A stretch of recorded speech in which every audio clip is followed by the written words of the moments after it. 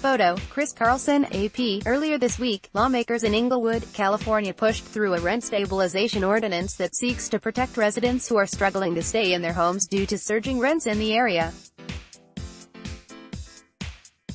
One of the main reasons that rents have skyrocketed is due to the construction of a $2.6 billion stadium and entertainment complex where both the Raiders and Chargers are set to play.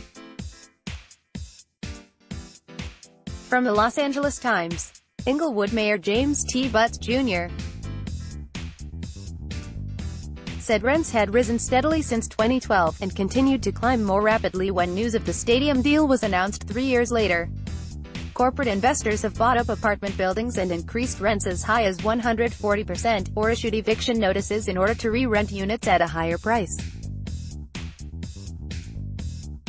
The rule is hardly a long-term fix.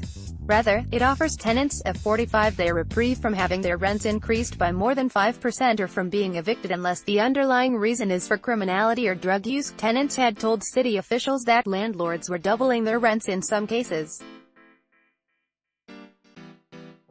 Because Inglewood has no rent stabilization laws on the books, landlords are free to drastically increase rents with only 60 days notice. The story of residents being priced out of their neighborhoods or otherwise displaced because of the development some new stadium or office complex, which are often built with taxpayer subsidies, is not a new one.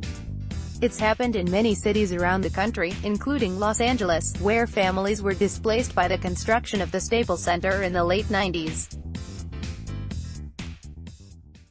The Inglewood Sports Complex isn't the only destabilizing force that California residents will have to deal with in the coming years.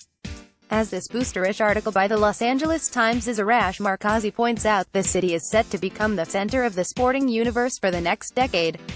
He lists all of the major events coming to Los Angeles over the next 10 years, including Super Bowl 56, the MLB All-Star Game, the 2026 World Cup, and the 2028 Summer Olympics.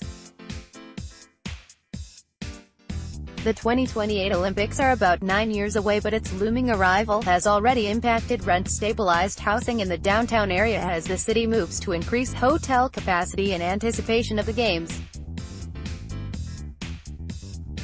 For example, in downtown LA, Longtime residents are facing eviction so that developers can build The Fig, a new mixed-use development that will include student housing, mixed-income housing, office space, and a hotel. The need for hotel space in connection to the upcoming Olympics has been explicitly noted by supporters of the project. So much for a no-build Olympics.